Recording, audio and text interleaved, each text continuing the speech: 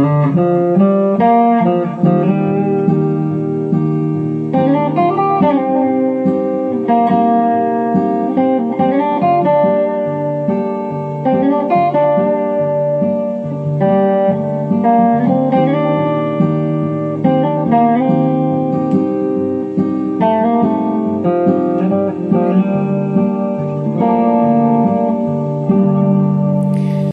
ลัคนาราศีธนู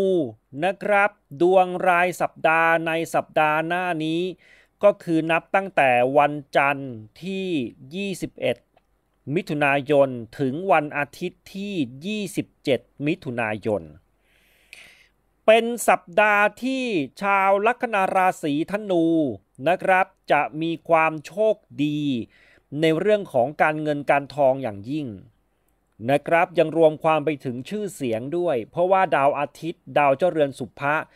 เล็งลัคนาเลย แล้วดาวอาทิตย์ตีโกนกับดาวพฤหัสคู่มิตรใหญ่ ดาวอาทิตย์ยังได้ตำแหน่งราชาโชคด้วยนะครับ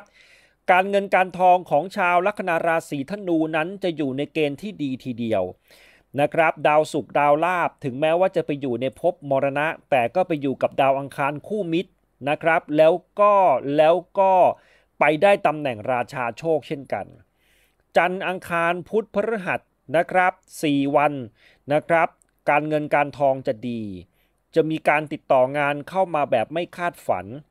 นะครับ เป็นงานที่คุณเองอาจจะคิดไม่ถึงว่าเฮ้ยมันจะได้งานนี้ด้วยหรือวะ เออจู่ๆมันมีการดีลกันขึ้นมา หรือมีโอกาสจะได้ลาบผลอะไรต่างๆ ที่ดี หรือมีโอกาสจะดีลงานที่ อาจจะยังไม่ได้ต้องทำในช่วงนี้เลย แต่ว่าคุยกันไว้เรียบร้อยแล้วว่าจะมีงานในลักษณะนี้เข้ามา ซึ่งก็จะได้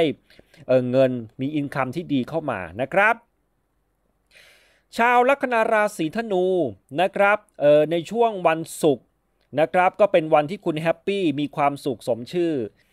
นะครับมีความรู้สึกสบายใจ happy ความรักก็จะสดใส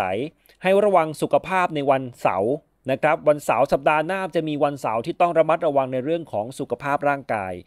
หรือวันเสาร์ในสัปดาห์หน้านั้น ไม่จำเป็นก็ไม่ต้องไปติดต่ออะไรสำคัญสำคัญเลยนะครับเลี่ยงๆไปเลยอะไรที่จุกจิกหงุดหงิด เอาเวลาไปทำอย่างอื่นเลย ไม่ต้องไปใส่ใจอะไรกับมันมากนะครับ แล้ววันอาทิตย์ก็โอเค happy ขึ้น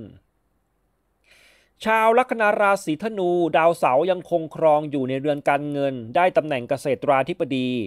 ดาวราหูยังคงครองในตำแหน่งที่เรียกว่าขันธพลนะครับ เป็นตำแหน่งโยคเกณฑ์ที่ดี เป็นตำแหน่งโยคเกณฑ์ชั้นสูงนะครับ ราหูอยู่ภพหกได้ขันธพล ผู้หลักผู้ใหญ่ยังให้การสนับสนุนดี แวดวงสังคมแวดล้อมนั้นดีมาก ดาวพฤหัสเองไปอยู่ในตำแหน่งโยคหน้า ดาวเออชาวลัคนาราศีธนู จึงมีโอกาสที่จะพบกับสิ่งแวดล้อมใหม่ๆ ที่ดี ที่ทำให้คุณเองนั้น happy มีความสุข แล้วก็จะมีโชคดีต่างๆ เข้ามาด้วย อย่างไรก็ตามชาวลัคนาราศีธนูนะครับ ต้องบอกให้ฟังแบบนี้ อาจจะมี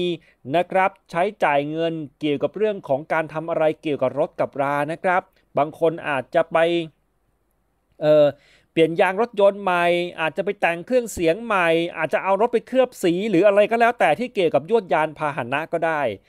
นะฉะนั้นเนี่ยผมแนะไว้ให้ชัดๆเลยนะครับ มีโอกาสเป็นไปได้ในลักษณะนั้น แต่ก็เป็นอะไรที่คุณได้สิ่งที่ดีกลับมา หรือบางคนอาจจะซื้อรถใหม่ไปเลยก็ได้นะครับ อีกอย่างหนึ่งนะครับในเรื่องของความรักของชาวลัคนาราศีธนู ดาวเจ้าเรือนคู่ครองไปครองอยู่ในภพอริคนมีแฟนมีคู่อาจจะไม่ค่อยได้เจอกันนะ นะครับ จะเป็นจากเรื่องงานหรือเรื่องอะไรก็แล้วแต่ ส่วนคนที่ยังโสด มีโอกาสจะพบรักจากโซเชียลมีเดียโซเชียลเน็ตเวิร์กหรือพบกับรักต่างวัยก็เป็นไปได้ โชคดีครับ ออกแบบโลโก้บริษัท ตั้งชื่อบริษัท ชื่อนามสกุลบุคคล ให้เฮงให้ปัง กับสินแสหมิงของแบ้งเมืองไทยสำนักมังกรทอง สินแสหมิงของแบ้งเมืองไทย ให้คำปรึกษา ศาสตร์แห่งห่วงจุย้ย โง่เฮง Astrology การเลือกใช้เลขเบอร์โทรศัพท์มงคล